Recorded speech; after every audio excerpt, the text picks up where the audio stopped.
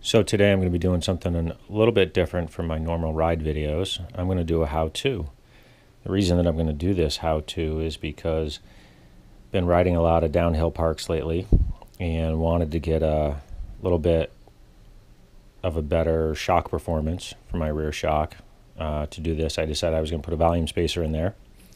And so, of course, go to YouTube and start searching for videos on how to put a volume spacer into the RockShox Deluxe.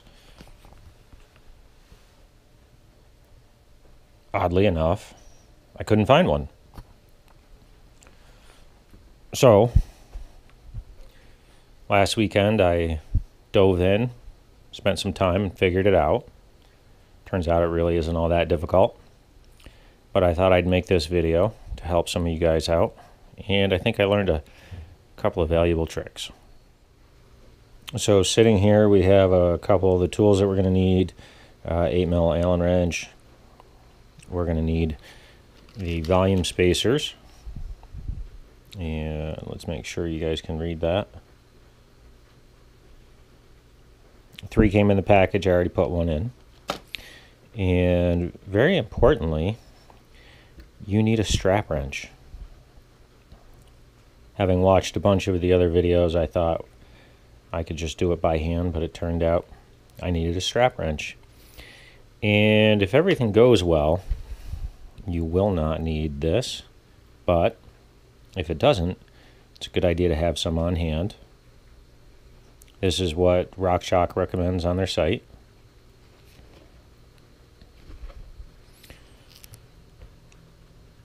So, let's get started here.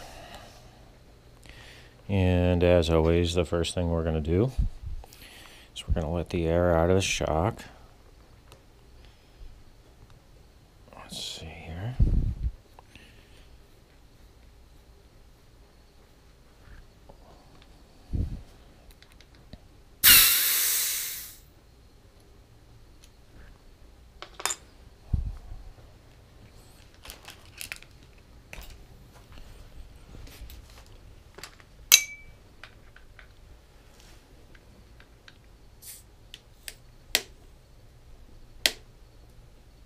Press that down all the way with the valve held in to make sure we've got all the air out.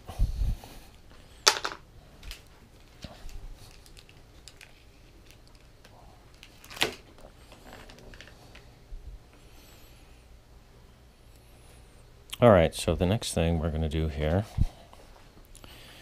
is we're going to remove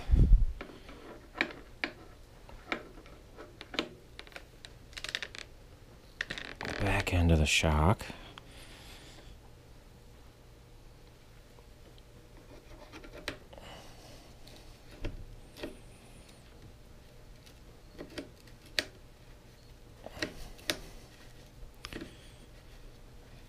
What this is going to do is allow us to leave the front end in the frame and that's what we're going to use to help us get some leverage.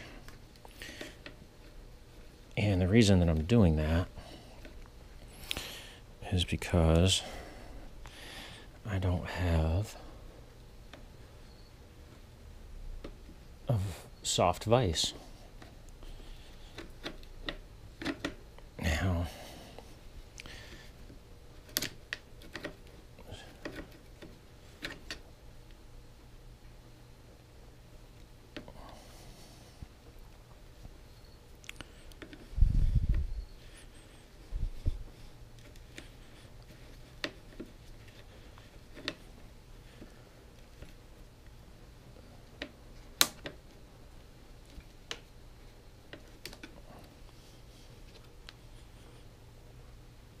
Okay.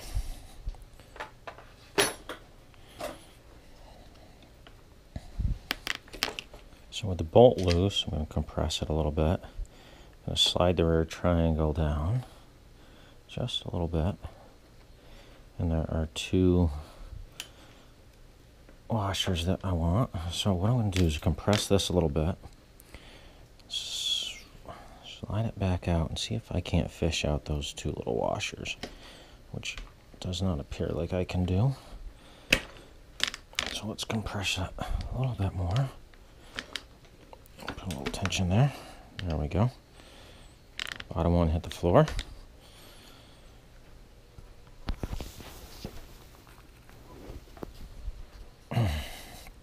There we go. We're going to set those aside. Okay, so I've got the bolt still here.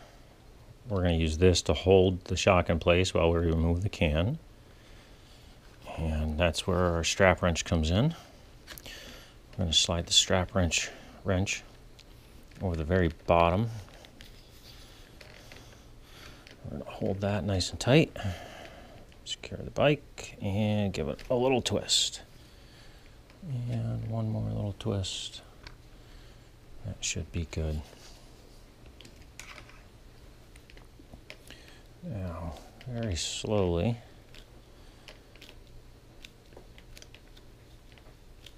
we're going to unscrew the can here.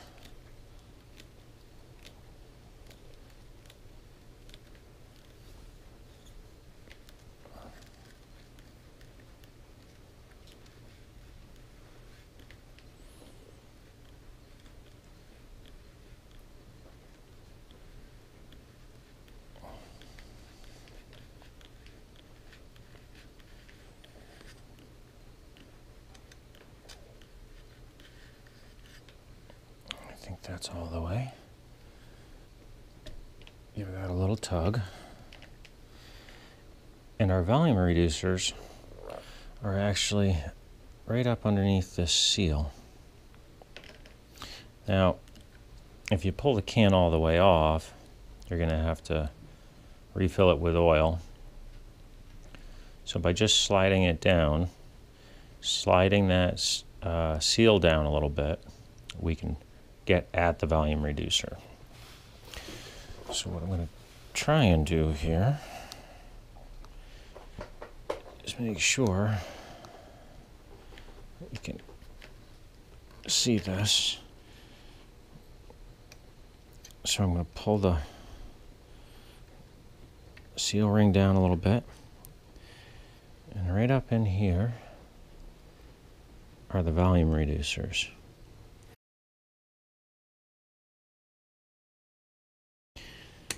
They snap right in.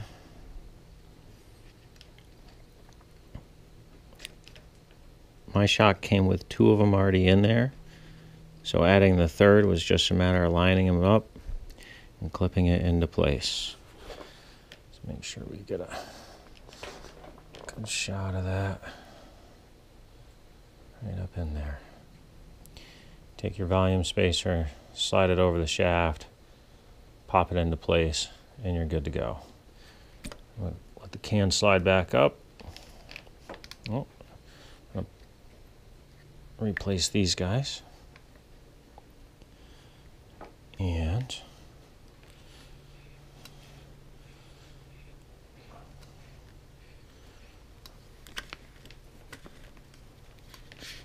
screw our can back into place.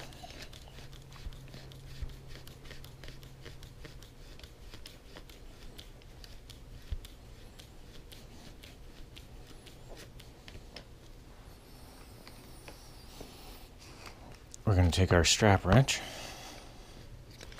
tighten that back up. I don't think I mentioned before you can buy a strap wrench at your local hardware store. You're just going to snug it. Definitely don't want to over tighten that.